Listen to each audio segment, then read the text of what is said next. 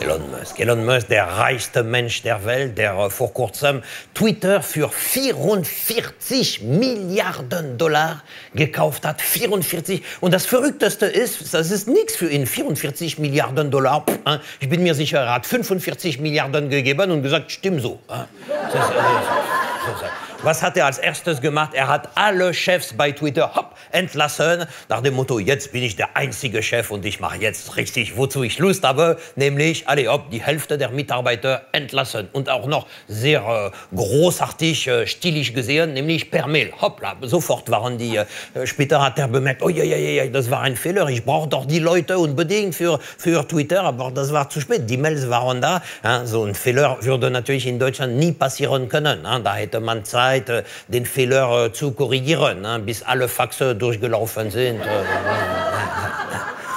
das Ganze war in Kalifornien und äh, in Kalifornien kann man dagegen klagen. Weil, oui, die, die, die, Mitarbeiter haben geklagt und haben gesagt, so geht's nicht. Ja, 60 Tage, es gibt in Kalifornien ein Gesetz, der sagt 60 Tage Frist mindestens. Ja. Als Elon Musk das erfahren hat, hat er gesagt, ah bon, oh, gut, dann kaufe ich Kalifornien. Und ich ändere das Gesetz dann. Ja, so oder so. Äh, der, äh, der, der Elon Musk hat jetzt tatsächlich Twitter. Und, und da gibt es einige Leute, die sich also total freuen. Wisst ihr wer? Die äh, Verschwörungstheoretiker, die äh, QAnon-Anhänger, die Corona-Leugner, die finden das super. Oder die Leute, die überzeugt sind, dass die Erde eine Scheibe ist. Also die finden super. Oder, oder die Leute, die äh, sagen, oui, Merkel ist ein Reptiloid. Äh?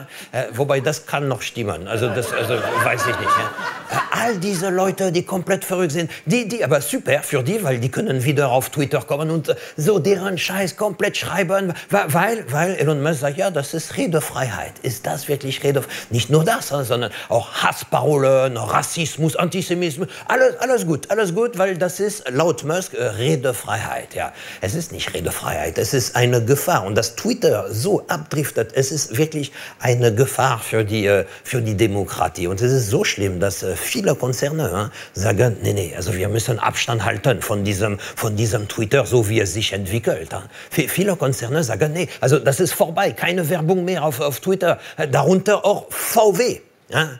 Und wenn sogar VW moralische Bedenken hat, das soll was heißen, das kann ich euch sagen.